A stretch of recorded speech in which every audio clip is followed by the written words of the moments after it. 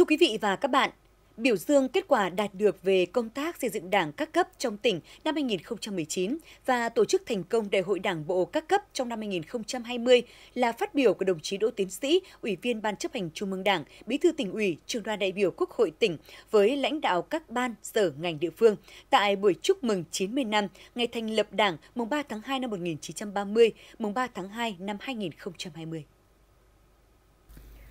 lãnh đạo các ban sở ngành đoàn thể tỉnh, các địa phương đơn vị trong tỉnh đã đến tặng hoa chúc mừng tỉnh ủy. Thay mặt Ban Thường vụ tỉnh ủy, đồng chí Bí thư tỉnh ủy Đỗ Tiến Sĩ đã trân trọng cảm ơn và phát biểu nêu bật những thành quả tỉnh ta đã đạt được trong những năm qua dưới sự lãnh đạo của Đảng, nhất là những kết quả trong phát triển kinh tế xã hội. Kết quả đạt được toàn diện trên các mặt kinh tế xã hội năm 2019 của tỉnh có vai trò to lớn của công tác xây dựng đảng, hệ thống chính quyền các cấp cùng quân và dân trong tỉnh đã nỗ lực cố gắng chủ động sáng tạo trong chỉ đạo điều hành để thực hiện hoàn thành và hoàn thành vượt các chỉ tiêu về phát triển kinh tế, phòng chống dịch bệnh xảy ra trong năm.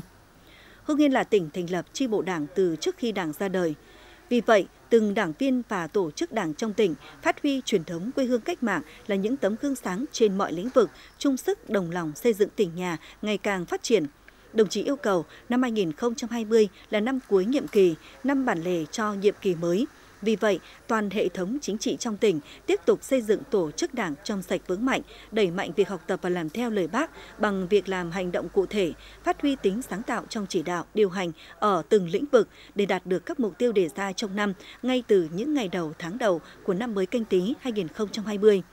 chuẩn bị các điều kiện tổ chức thành công Đại hội Đảng bộ các cấp, tạo phong trào thi đua sôi nổi, lập thành tích chào mừng Đại hội đại biểu toàn quốc lần thứ 13 của Đảng.